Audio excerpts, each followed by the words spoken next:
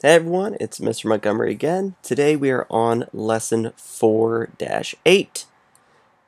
And that is going to be on page 189 in our Robot Turtle books. Let me write it a little bit bigger for you. 189. This is the page that we are going to be on today. If you're not on this page, well, make sure you pause the video. Make sure you're all set, then hit play. But if you're already on the page, we're going to keep on rolling.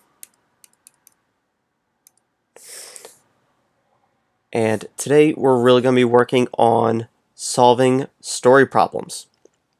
And that means we're going to be solving story problems that go all the way up to 20.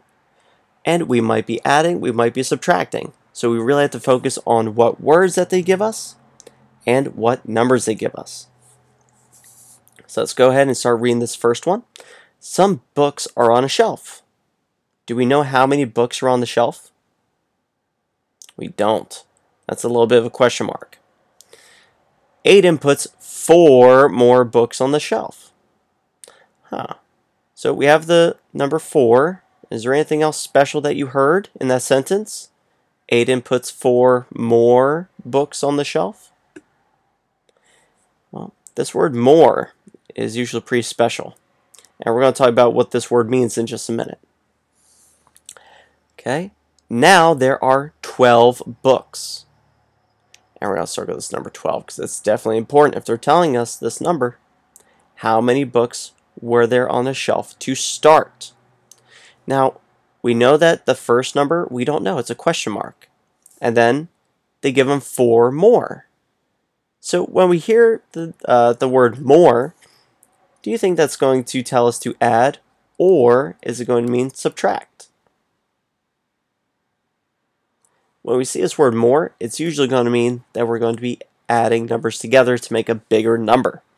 So if we're going to make a number sentence, we need a blank, a plus sign, a blank, our equal sign, and then a spot for our answer. So we don't know how many we start off with, so we got to leave one of these spaces blank.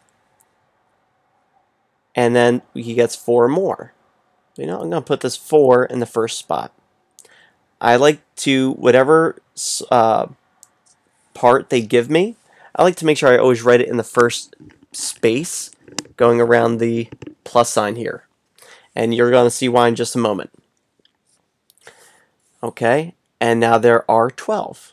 So when they say now there's 12, they're saying this is the total. So where do I put the total in an addition sentence? Does it go next to the plus sign? Or after the equal sign. It's going to go after that equal sign. So now we have 4 plus blank equals 12. So right now we have our start number, right? We do not have our jump number. We're missing that. And we have where we're going to end. Okay, now the reason why I like to always put one of the parts we know in that first space is that it keeps it the same every time we do it. And we can always make sure we have our start number. Okay? Because if you put it in the jump space, it's going to be a little confusing, and I don't want anyone getting confused. So let's go ahead and make a quick number line. 12, 11, 10, nine, we have eight, seven, six, five, oh, wrong number there. Five, four, and three. So, we're going to solve this just like we've solved these problems before. We are going to put a dot on our start number, right? So dot on 4 and then we're going to put a dot on our end number, which is 12. And now to find the answer, all we have to do is count the jumps. One, two, three, four, five, six, seven, and 8. So what is our missing number? Well, it's 8, because we jumped 8 times and you just recount the jump, the bumps, if you uh, happen to forget. So then down here where it says there were blank books to start, well, there were eight books that we started off with. All right. Now let's go to the next page, page 190, and let's do another practice one together. All right, everyone, here's page 190. And uh, there's only one problem on this page, unfortunately. Oh, man. So we're just going to kind of go through it together a little bit. We'll do it in steps. Um, especially since they set this up differently than I would have, and I want to make sure no one is confused. All right, so we're going to do number one in parts. Uh, we're going to start off doing it together a little bit, and then I'm going to leave you guys to finish this on your own at a certain point. I'll let you know when that happens. Okay, let's read it together. Cal rides his bike on Monday. He rides 8 miles on Tuesday. Oh, okay, so now we know how many miles he rode on Tuesday, so we need circle 8. He rides 14 miles in all. Oh, so see that number 14. And we also heard some special words in this sentence. See if you can pick out the words. He rides 14 miles in all. What are the special words in this sentence that tell us if we're going to add or subtract? It's the words in all. Whenever we see in all, it's always going to mean we need to add every time. How many miles did Cal ride on Monday? So we don't know how many miles he rode on Monday, right? It's a big question mark.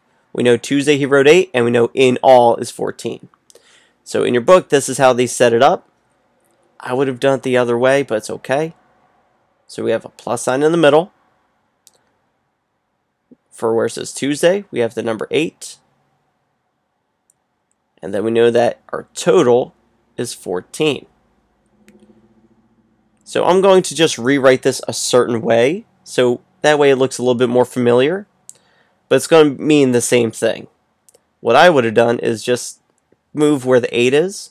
So that way it would be 8 plus blank equals 14.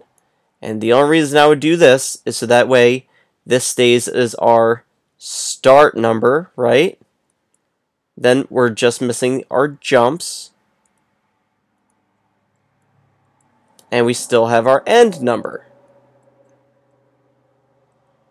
See, I and re, if you remember what we've learned a while ago, we can add in any order, right? So it doesn't really matter where the 8 goes. I just prefer to keep it first so that way it stays in the start number spot. Okay, and that way we're just we always know we're just looking for our jumps. That's it. That's the only reason I moved it. So don't let it, you know, I'm hoping this didn't just break your brain. I'm hoping I'm not breaking your brain here, okay? So down here, we can of course um, we could solve this a couple different ways. We could use our trusty number line. And I'll also show you guys a different way we can solve this. Okay, so I'm going to make a quick number line. We have 14 down here. Then we have 13, 12, 11, 10, 9, and 8. I'm stopping at 8 because that is the smallest number I have. And I stopped at 14 over here because that's the biggest number I have. We don't need anything else. So now, that we have our start and end number, I would like for you to figure out how many jumps and write it down on our answer spot. Okay? Go ahead and figure out how many jumps.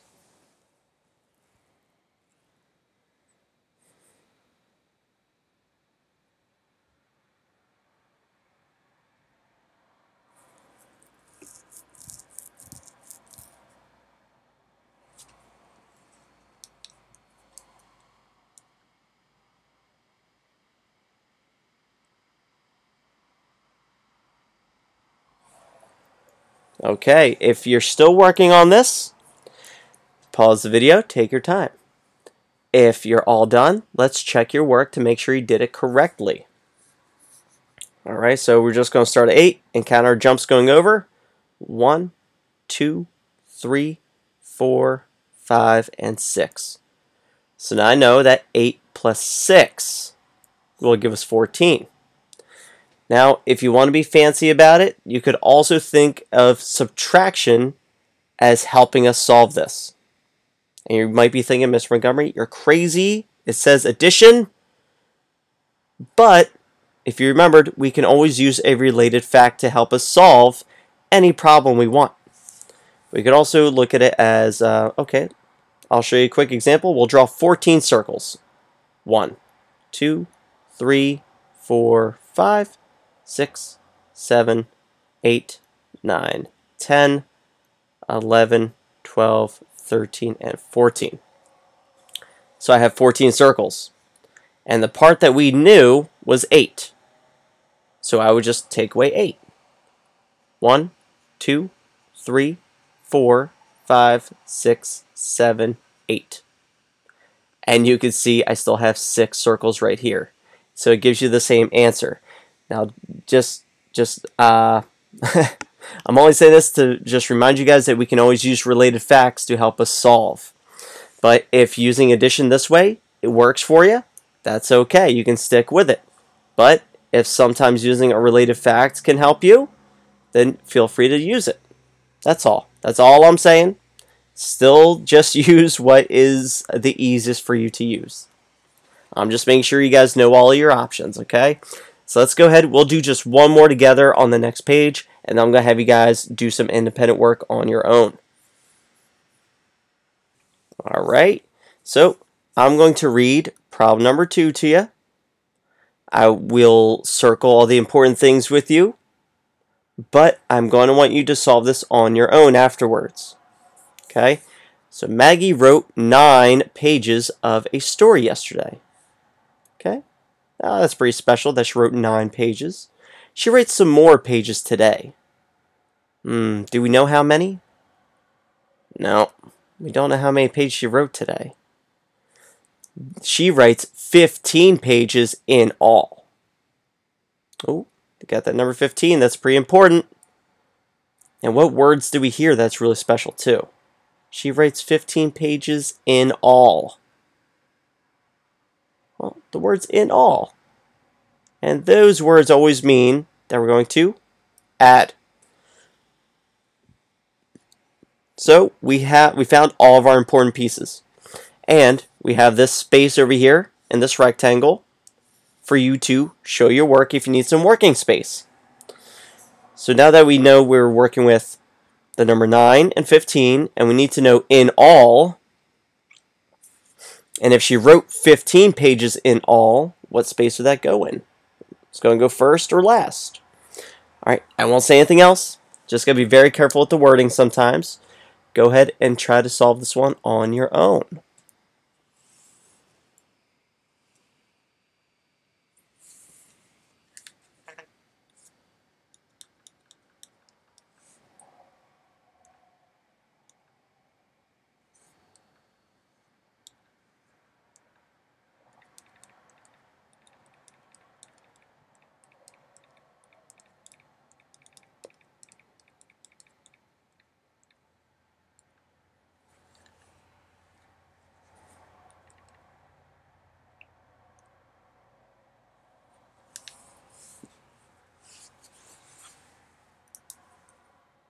Okay, if you're still working on this, no problem.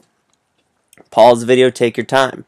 But if you sped through this and maybe you're a very quick mathematician, let's go over together.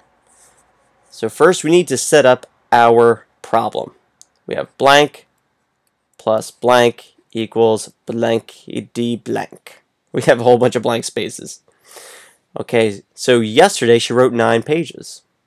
Where would this go? I Think it's going to go in the first space? Uh, the second space? Or is that going to be our answer space?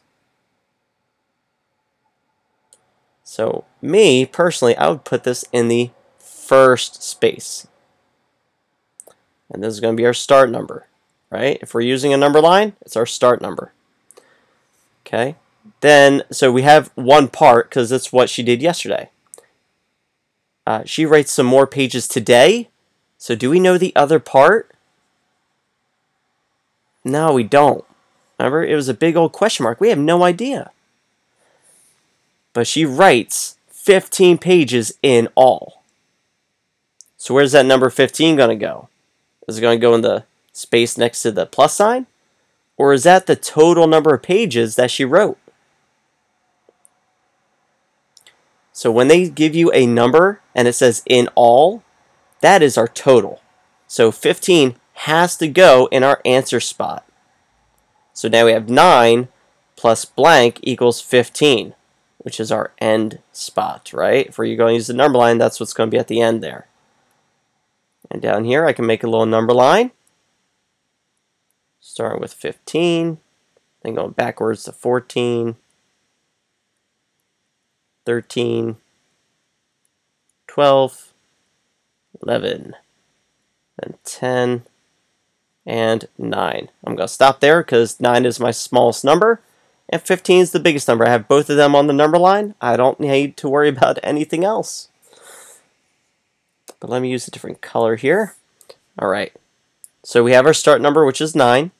Put a little dot. And our end number is 15. All we need is our jump number, right? That's all we need. So we'll just count our jumps. One, two, three, four, five, and six. So six jumps, which means nine plus six equals 15. So today she wrote six pages. All right? So if you already wrote out the problem in the box, that's fine. You'll have to rewrite it here. But of course you always could. And we would just say 9 plus 6 equals 15. That's it. All right, now I would like for you guys to try 3 and 4 on your own, but I will read them to you before I let you go off on your own, okay? So it says Gemma has 6 games. Chris has 13 games. How many fewer games does Gemma have than Chris? Now think about that word fewer. Is that going to mean more or less? Okay, number four, Lily has seven fewer ribbons than Dora. Lily has 13 ribbons. How many ribbons does Dora have? Now, this is a tricky one. So Lily has seven fewer ribbons than Dora. And Lily has a total of 13. So they're saying that Dora has more. So Dora equals more. I'm giving you a big hint right there. So if we see more, you think it's going to be a plus or a minus right here. Just saying. Alright, but be very careful. Take your time with it. And that's it. Go ahead, try number three and four on your own. And, um, of course, if you're confused, make sure you let your teacher know. But I hope that you guys are getting this and it's uh, not too bad. Uh, and as always, I hope you guys have a great day, and I'll see you next time.